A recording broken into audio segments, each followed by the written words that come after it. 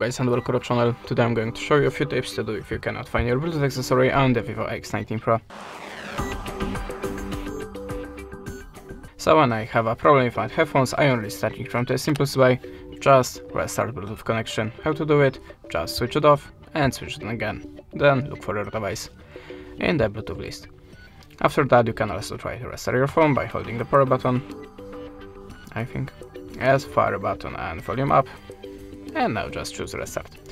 So to start you have to be sure that your Bluetooth accessory uh, have activated pair mode. How to enable pair mode you will find the manual to your device. Sometimes you have to push the button for a few seconds, sometimes you have to click the button uh, three times for example, you have to check it by yourself. So if you're sure that your Bluetooth accessory is in the pair mode but you still don't have it in the uh, Bluetooth device list on the Vivo, you can go to the settings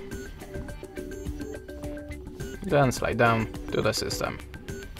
Look for the backup and uh, sorry, for, for the reset options, and how there you have a reset Wi-Fi, mobile and Bluetooth. So tap on it, click reset settings, and click on this button again. Then look for the device again. After that, you can also try to update your system, so go to double phone, and then choose the software information. Now go to the OS version. Oh, sorry, not here we have to go to the... You can just try to type the update in the search bar. Yes, there we have a system update. And now if you have any update, just install it and look for that device again.